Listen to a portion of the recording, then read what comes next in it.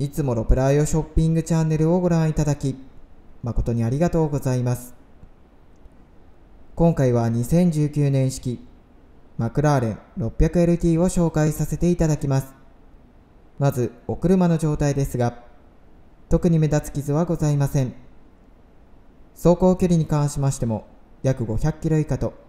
新車に近いコンディションを保ったお車です。外装色は Chicane Effect。インテリアは Carbon Black と Burnt Orange by McLaren アルカンターラが採用されております。マクラーレンのスーパースポーツカーとして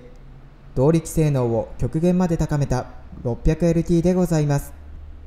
こちらのお車は数多くのカーボン装備や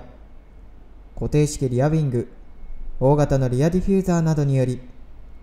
軽量化、また空力性能の向上が行われておりますので圧倒的なパフォーマンスをお楽しみいただけます。さらにはエクステリア、インテリアオプションの合計価格は1000万円以上となっており、非常に豪華な1台です。エンジンは3.8リッター、V 型8気筒のツインターボエンジンが搭載されており、最高出力は600馬力でございます。ヘッドライトに関しましては LED が採用されており、夜間走行時も安心してお乗りいただけます。また足元に関しましては、フロント19インチ、リア20インチのアルミホールとカーボンブレーキが装備されておりますので、制動力に優れた1台となっております。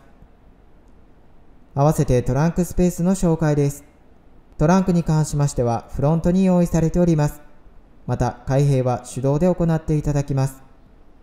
ボストンバッグを一つ収納することが可能です。続きましてインテリア紹介させていただきます。インテリアに関しましてはカーボンブラックとバーントオレンジ、バイマクラーレン、アルカンターラが採用されております。運転席、助手席ともに良好なコンディションです。ステアリングに関しましては3本スポークのアルカンターラステアリングが採用されております。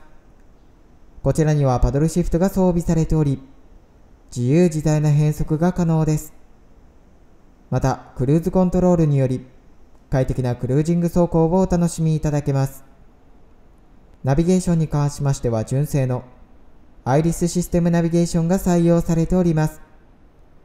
また、バックギアに入れていただきますと、バックカメラが作動し、安全に駐車を行うことができます。